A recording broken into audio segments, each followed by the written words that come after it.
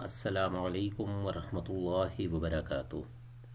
Dear audience इससे पहले हमने is am are was were have has and had इनका इस्तेमाल पढ़ा।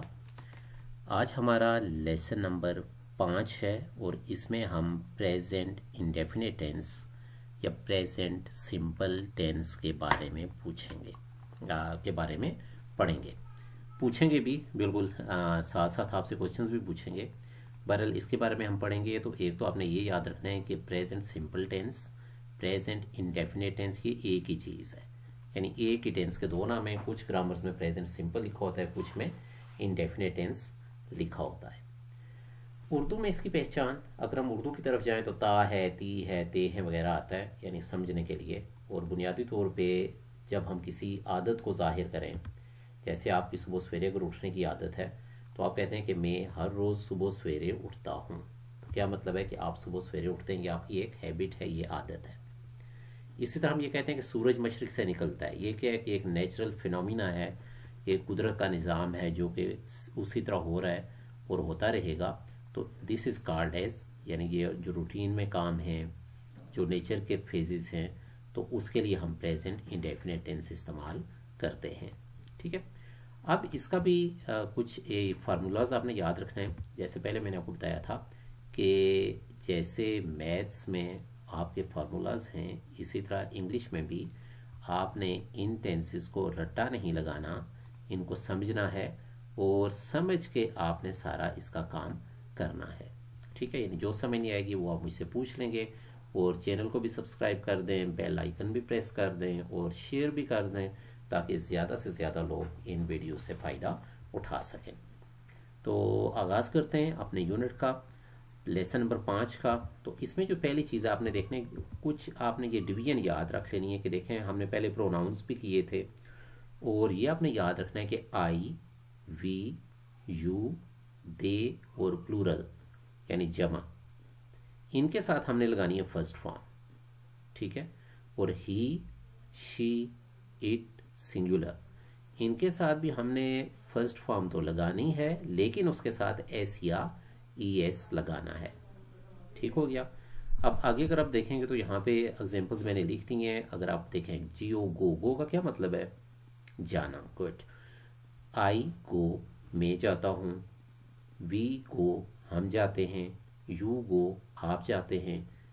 या तुम जाते हो, ठीक है डिपेंड करता है। दे गो वो जाते हैं। और इसके बरस क्या होगा? He goes she goes it goes ठीक है, अब हमने ई एस यहाँ पे लगा दी है। तो इस तरह हमने इनका बनाना है पॉजिटिव जुमले जो बनेंगे प्रेजेंट सिंपल या प्रेजेंट इंडेफिनेट में। तो उसका फॉर्मूला मैंने आपको बता दिया है, इसकी प्रैक्टिस करें। और मैंने आपको कहा था कि अलग डायरी बना लें नोटबुक बना लें और उस पर हर चीज़ नोट करते जाएँ। ठीक है, ये आपके लिए बड़ा बेनिफिशियल होगा।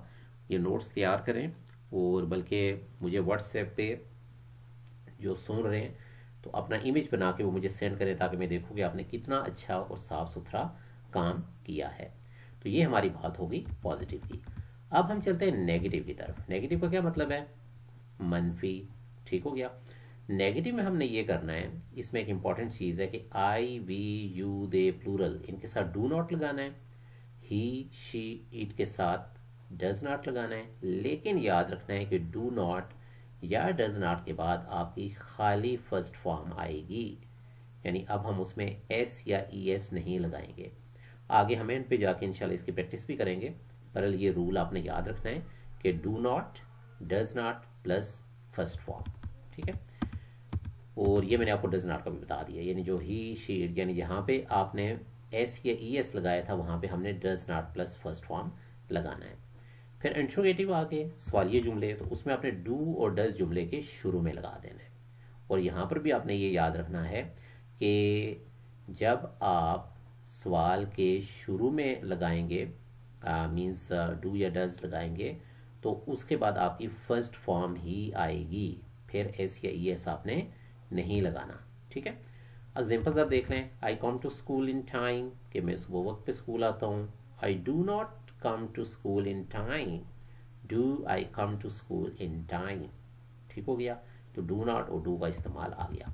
वी को देख लेते हैं। Newspaper daily we do not read a newspaper daily do we read a newspaper daily और इसका उर्दू में क्या मतलब बना? We read a newspaper daily कि हम हर रोज अखबार पढ़ते हैं। ठीक है? अच्छा अब हम करते हैं दूसरी एग्ज़ाम्पल के जहाँ पे हमने फ़र्स्ट फॉर्म के साथ एस या ई एस लगाया था। अब this boy makes a noise ये लड़का शोर करता है। तो अब नेगेटिव क्या बनेगा?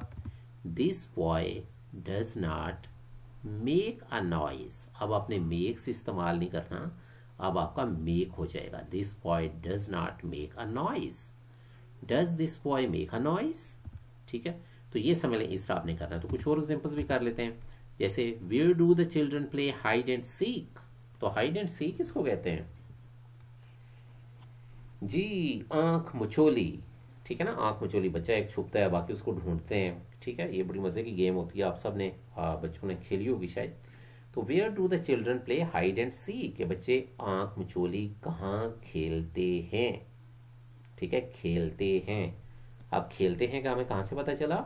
डू से पता चला, यानी डू लगा हुआ है तो इट मीन्स जहाँ पर भी डू या डज इस्तेमाल होगा तो इट मीन्स ये आपका प्रेजेंट इंडेफिनेट टेंस या प्रेजेंट सिंपल टेंस है। When does the cock crow when का क्या मतलब होता है? जी, कब? ठीक है? तो मुर्गा कब अजान देता है? यानी वैसे मुर्गे को क्रो कहते हैं इसकी आवाज़ को, लेकिन चूँकि उर्दू में हम कहते हैं मुर्गा अजान देता है तो for that reason where does the cock crow कि मुर्गा कहाँ अजान देता है? फिर इसी तरह कुछ ये हम क्वेश्चन वर्ड्स हैं, उनके हम यूज़ कर लेते हैं, जैसे व्हाट है तो व्हाट क्या होगा? What do you eat for breakfast कि आप सुबह नाश्ते में क्या खाते हैं? ठीक है? Why does she study so late at night कि वो देर तक क्यों पढ़ाई, क्यों पढ़ती है? वाई डज शी स्टडी अब स्टडी जो है ना बेसिकली जैसे है कि she studies so late at night ये पॉजिटिव हो जाएगा studies S T U D I E S लेकिन चूँकि जब डू और डज इस्तेमाल होगा तो फ़र्स्ट फॉर्म लगानी है तो स्टडीज़ की जगह हम स्टडी करेंगे। फिर इसी तरह हु टीचेज यू मैथमेटिक्स कि आपको मैथ्स कौन पढ़ाते हैं? वेयर डू यू लिव इसका मुझे आपने बताना है, मैं तो नहीं बताऊँगा। आपने मुझे बताना है कमेंट्स में लिखेंगे इसका क्या तर्जमा है? वेयर डू यू लिव चलें। Which book do you recommend for beginners कि आप जो शुरू वाले मीन्स के जो भी आगाज़ कर रहे हैं तो उनके लिए आप कौन सी किताब तजवीज़ करते हैं? Then when does the train arrive कि जो ट्रेन है, वो किस वक्त आती है? Then how do you travel to work every day कि हर रोज़ आप काम के लिए सफ़र कैसे करते हैं?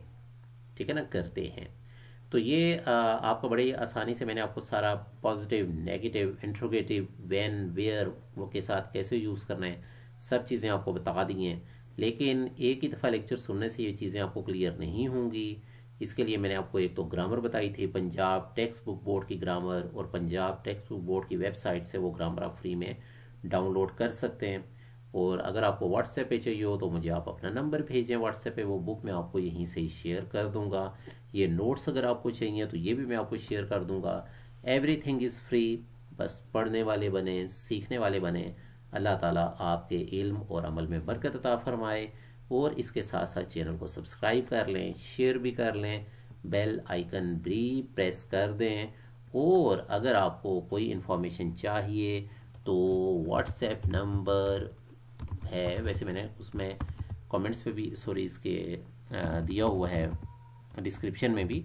बहरल यहाँ पर भी मैं आपको दे देता हूँ। अगर पाकिस्तान से बाहर से देख रहे हैं तो plus nine two three four five nine seven double four double seven one देखें यही है या किसी और का नंबर तो नहीं मैंने दे दिया। जी, अपना ही है। ओके ये मैंने इसको कर दिया। रेड चलें जी।